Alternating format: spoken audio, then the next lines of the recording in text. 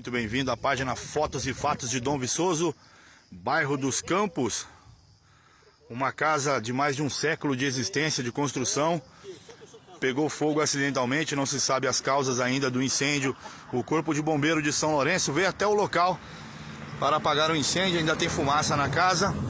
Estava, estou vindo do trabalho agora, passei e vi essa cena lamentável dessa casa com uma arquitetura tão bonita, uma arquitetura histórica aqui na, na, entrada do povoado do bairro dos Campos, município de Carmo de Minas.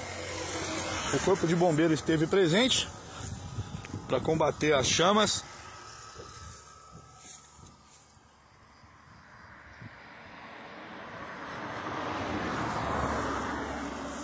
Da página Fotos e Fatos de Dom Viçoso, do povoado dos Campos, município de Carmo de Minas, Jefão Balafate.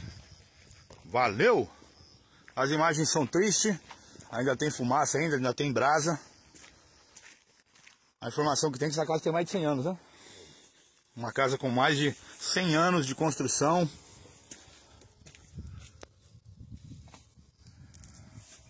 É uma tristeza.